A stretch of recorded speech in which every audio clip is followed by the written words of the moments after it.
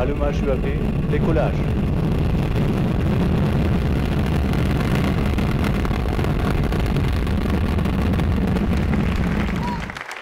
Vengo a proponerles un sueño. Quiero una Argentina unida. Quiero una Argentina normal.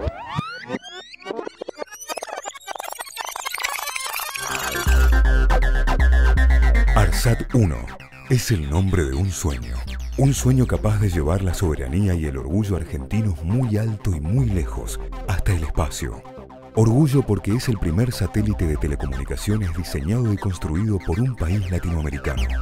Era un hombre absolutamente jugado por la ciencia de su país porque sabía que ahí estaba el desarrollo delante y por eso pensó Arsat. La patria no solo está en las ciudades, en los campos, en las montañas, en el mar y en los ríos. La patria también está a 36.000 kilómetros de altura.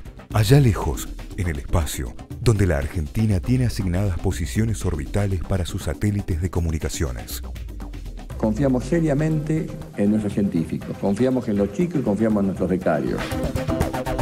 Un satélite hecho en Argentina con un millón de horas hombre de técnicos e ingenieros argentinos que se quedaron en el país. Lo que hoy estamos inaugurando aquí es soberanía, además de alta tecnología. Un sueño sostenido por una inversión de más de mil millones de pesos y por decisiones clave como la creación del SEATSA, un laboratorio capaz de simular en tierra las condiciones ambientales que ARSAT-1 va a tener que resistir en el espacio durante 15 años. Y la verdad que me siento muy orgullosa de poder ser la presidenta de la renovación generacional científica que se merece la Argentina y que nos merecíamos seguramente todos. ARSAT 1 nos va a permitir que veamos la televisión digital abierta gratuita, en alta calidad, en todo el país. Que nuestros científicos en la Antártida puedan estar en contacto permanente con sus familias. Que los chicos y los maestros de las escuelas rurales puedan comunicarse por teléfono y en Internet.